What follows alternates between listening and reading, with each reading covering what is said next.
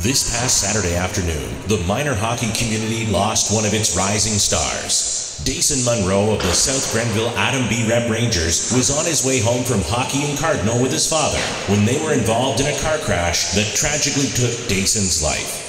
We ask that you please rise and join the players from the Brockville Pee Wee B Junior Braves and the Kemptville Pee Wee B Panthers as they honor his life with tonight's special ceremony.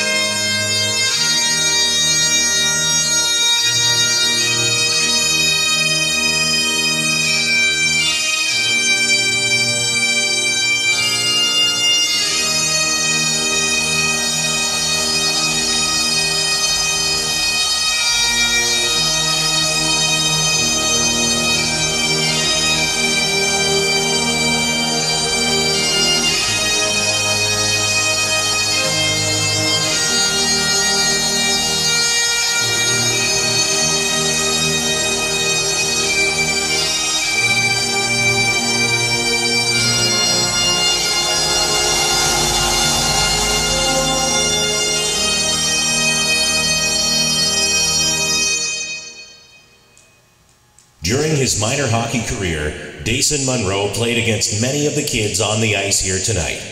His brother Chayton has competed against both the Brockville and Kemptville Pee Wee B teams this year as a member of the South Grenville Pee Wee B Rangers. On the night of the crash, Dasan and his father Dave were coming home from practice, from the same arena, on the same roads that we all travel from time to time.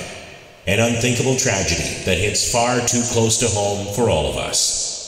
The Brockville Pee Wee B Junior Braves and the Kemptville Pee Wee B Panthers and their families would like to show their support to the Munro family, their friends, and to the South Grenville minor hockey community tonight, and will honor the life of Dasan with a moment of silence now in his memory.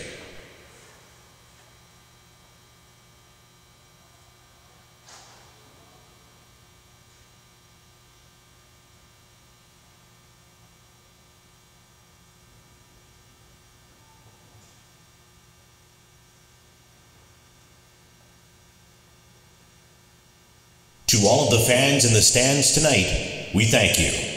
Enjoy tonight's game.